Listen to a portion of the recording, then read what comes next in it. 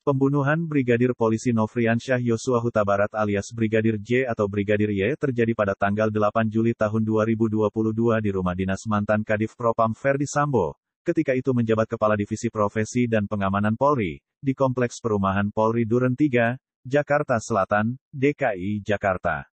Berikut biodata lengkap Brigadir Yosua yang meninggal karena ditembak di rumah Ferdi Sambo, Brigadir Yosua adalah lulusan dari Sekolah Dasar SD, di SDN 74 Muaro Jambi, SMPN 12 Muaro Jambi dan SMAN 4 Muaro Jambi.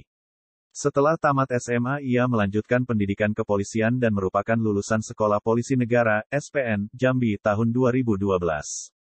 Sebelum menjadi ajudan Irjen Ferdi Sambo, Brigadir Yosua juga pernah ditugaskan oleh kesatuannya ke Papua dan menjadi provos. Nama lengkap, Nofriansyah Yosua Huta Barat Nama panggilan, Prian.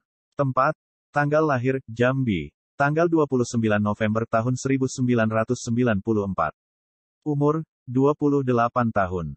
Agama, Kristen Protestan. Pendidikan, SPN Jambi. Lulusan tahun 2012.